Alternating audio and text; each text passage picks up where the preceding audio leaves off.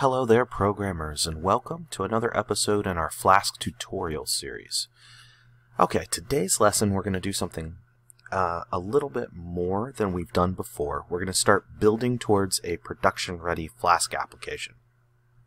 Now, we're not going to be building any particular app. This is just going to be teaching you all the actual tools that you can use to make your uh, Flask app ready to run in a production environment. So, um, what we're going to do is we're going to build off the concepts of the previous lesson, which is about blueprints. So um, if you don't know how to do that, it might be useful to go back and, and watch that previous lesson. Otherwise, uh, follow along and you'll start to get some of the understandings on how we actually use blueprints in this lesson as well, if you haven't already done that. Okay. So let's go ahead and start. I've got a virtual environment set up with Flask uh, inside of my PyCharm. I'm going to pip install Flask in here. Uh, this is going to be pretty quick since I already have Flask installed locally. You'll be able to see all of this get set up. Okay.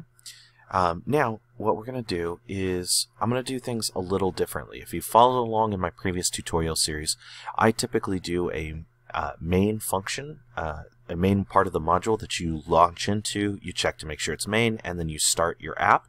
Um, I'm not going to do that today. Today I'm going to be using uh, what's called a factory method for uh, creating our actual application.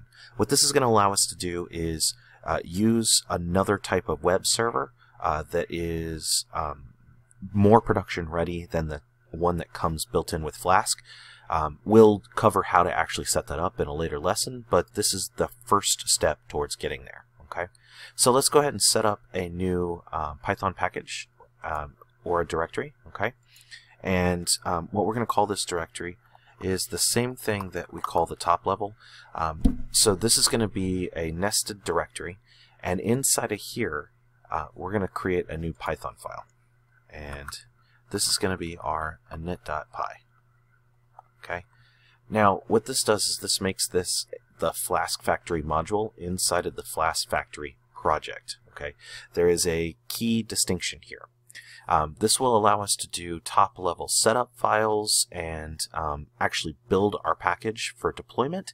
And then inside of here is where we're going to build all of our app code. Okay.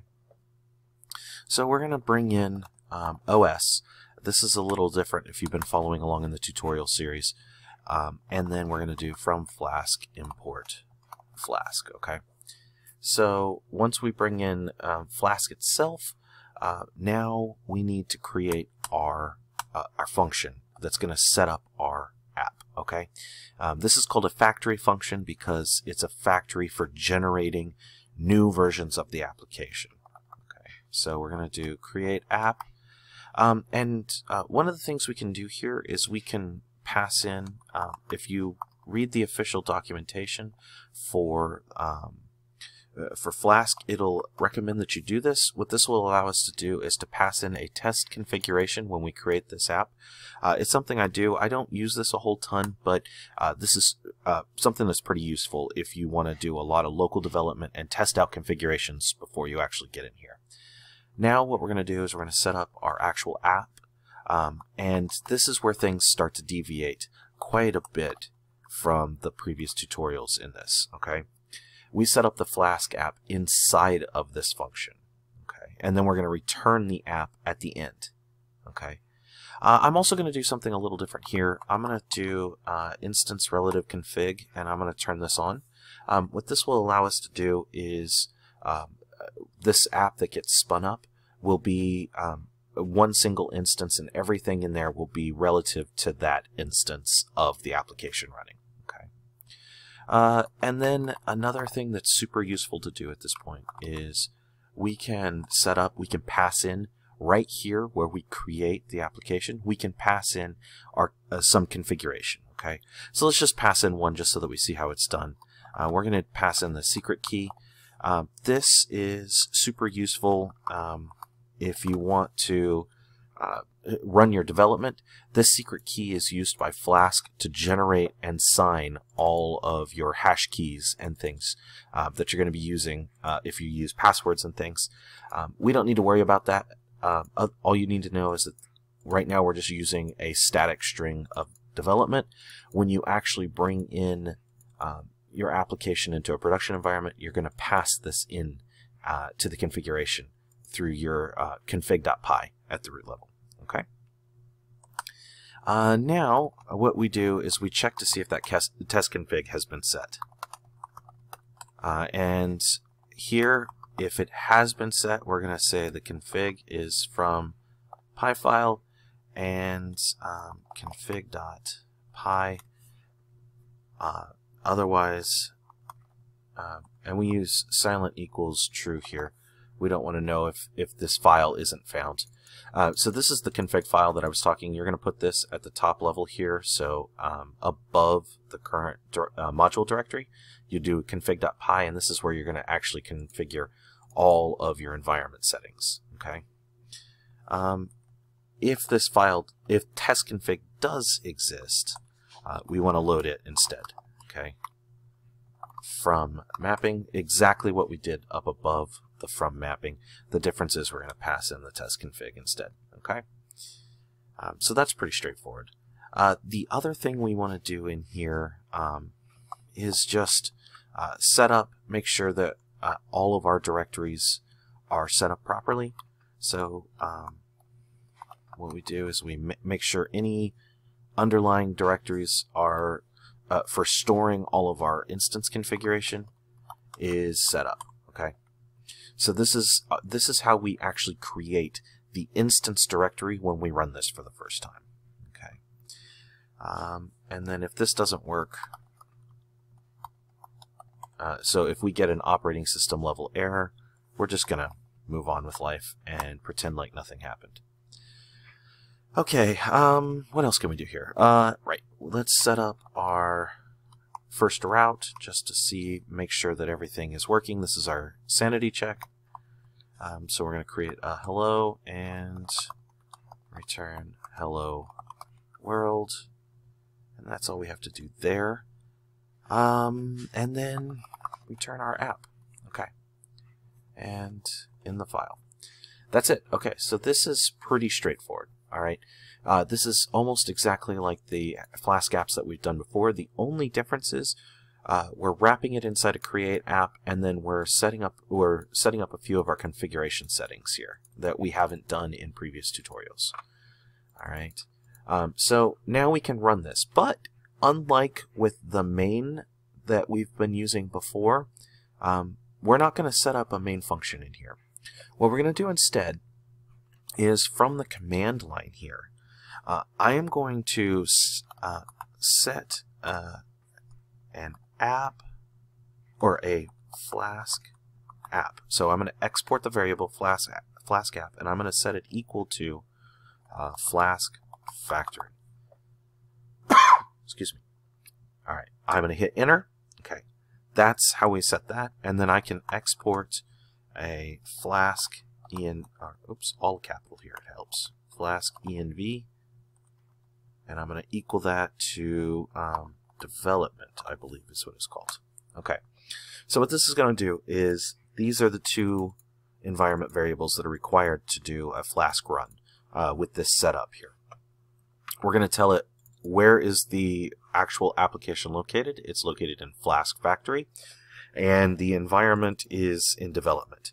Now, if we had defined this at the root level here, like we have in our previous packages, and we just ran this next command, uh, we wouldn't have actually had to do Flask app and define it. So what we can do now is we can now use the Flask um, uh, CLI that comes installed with Flask, and we can just run this. At this point, we set up our application, it's running, we can come over here into our window, hit refresh, and see that we get hello world back, okay? So this is how you set up a basic um, factory function. But why in the world would you want to do it this way? This is way more complicated than uh, previous ways that we've used. So here's where things can get a little interesting, okay? Now what we're going to do is inside of Flask, the Flask Factory module, I'm going to set up and use a blueprint. So let's go ahead and create a new file here. We're going to call this user.py. This is going to be our new uh, user user module. Okay, and I'm going to say from Flask import um, blueprint. and then I'm going to say BP equals blueprint, and we're going to call this our user blueprint. We're going to pass in the name of the module that's being loaded, and we're going to give this a URL prefix uh, equal to slash user. Okay. And then the only other thing I'm going to do in here is set up bp.route, and I'm going to set the root route, and let's define another hello function in here. Okay, just to prove that this is working, we're going to return uh, hello user. Okay, that way we know that we're in a different place than we were at our at our root. Okay, so now we've set up a blueprint.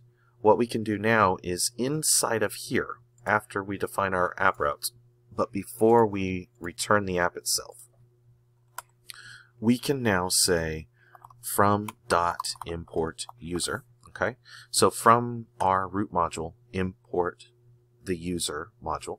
Okay, and then we can say app dot use. Um, oh man, uh, my mind just went completely blank here. It's app dot uh, register. Uh, oh yeah, register blueprint. Oh, that was that was embarrassing. Uh, user.bp. So what we're doing is we're taking, we're registering the blueprint here with user dot bp, and user dot bp is um, this object right here, this blueprint object with the routes defined on it. Okay, so let's go ahead and stop this down here. Um, I want to show you another thing we can do. So we saw that we can do the exports here uh, on the command line, and then we can do Flask run. If you're in PyCharm like, like I am, you can actually do a configuration up here. So if you go up to um, add configuration and hit plus, we can set up a new Python configuration.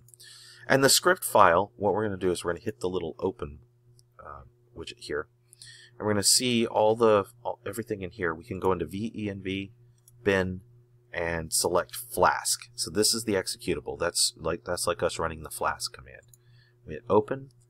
Our parameter is going to be run. That's what we're doing and then our um, our actual uh, th things we're going to put in here for our arguments are going to be um, so if you hit this little open thing here we can add um, in a flask um, a flask app oops, underscore app. And then we can set that to be the name of the of the project. So in this case flask factory. And then we can add another line and we can set this to flask uh, underscore env and we can make this env development. Okay. And we hit OK we hit apply make sure everything takes and hit OK now what we can do is we can hit this arrow up here and it'll run it with our debugger and everything that we want here so we can see this route is set up again we hit uh, refresh everything works we hit slash user, and we get taken to hello user. And now we can see everything is working as we expect it to here inside of PyCharm. So that's it. So that's kind of the the power here of uh, using this uh, th this app factory is now we can start to import everything in here, register it all, and um, when we start using databases in upcoming tutorials, uh, it'll make it pretty easy to just drop in a database into this into the structure and have the database confined to a single instance. Then when we create, we're, we're going to start with SQLite, which writes a file to disk. It will actually be written into this instance folder here that was created, I don't know if you noticed that, by this line here. Okay? So that's it. That's all I have for today. I hope you enjoyed the lesson, and I look forward to seeing you in the next one.